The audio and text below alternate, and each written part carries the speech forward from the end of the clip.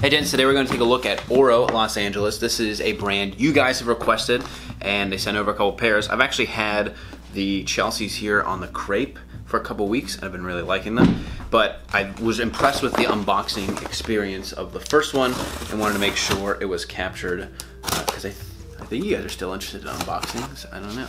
So, Oro Los Angeles comes in all handcrafted boots in Spain, and they typically they have styles that are typically a, on a higher price boot. And let's see here, I got nice thank you card there, nicely packaged.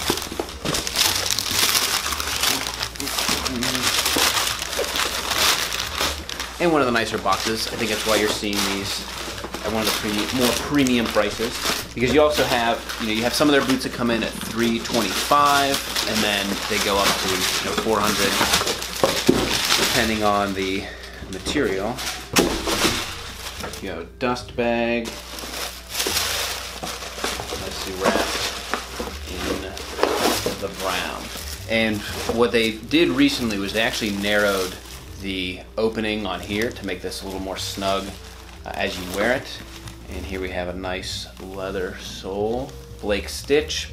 And let's get some beauty shots of these and I'll show you on the foot. All right, took them out a little dirty now, but I like them a lot. One of the things that I noticed, and the company had mentioned this, is they redesigned the opening of the shoe to be really tight, and I really like the way it fits. It fits really snugly around my section between uh, the calf and the ankle, but gives a really nice fit, really nice tight fit. You know, I have my Taft boots, my Thursday boots, which I like, and I like the Chelsea nature of them, which is like slip-on, sleek silhouette, but the fact that these have that really nice tight opening gives them a really good fit.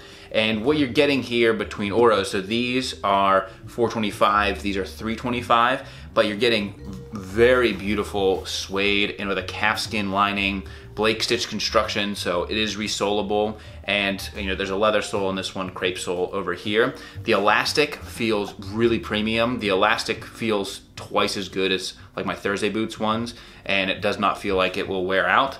And you're just getting a gorgeous, sleek silhouette, nice construction uh, all around from Oro. And as far as sizing go, I find that they run, you know, essentially true, which is like almost large. You know, I wear a 12 in my Allen Edmonds, I wear a 12 in my Greats Royales, like all my minimalist sneakers are usually a 12 or European 45, and I find that the 12s in these is exactly right. And so, you know, should fit in line with your other well-made dress shoes. All handcrafted in Spain, and you can see it in the way that the toe is just a very sleek, rounded toe, and the way that the whole shoe kind of sits on your foot uh, just looks really nice. And it is a nice feature too that they have the pull tab on the back. I have a couple of Chelsea's that don't have the pull tab, but that essentially makes these slip on. You gotta get your foot in here, get it in, twist, and you're going right on. And so Oro, Los Angeles.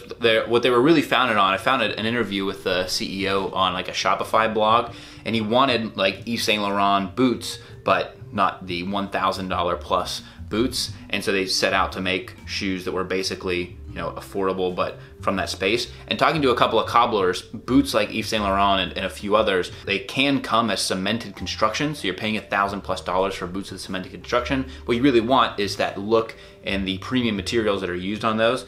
And that is what Oro is delivering here. So they also have like exotic uh, animal skins and they have some crazy other designs within there. But if you're looking for just like a really great, simple, clean silhouette Chelsea boot. You have the, the darker one here with the leather sole, you have the crepe sole, and they start at 325, which I would put these right in line with the Taft Chelsea boots that I have, which are also in that price point. And so you go up a little bit from that like $200 Thursday into this little, little bit nicer suede, more premium feeling all around, and really nice finishing. So those are the Oro boots. If you have any questions, I'll be down in the comments. You can also reach out at the underscore Kavalier on Twitter and Instagram. Until next time, gents, this is the Kavalier.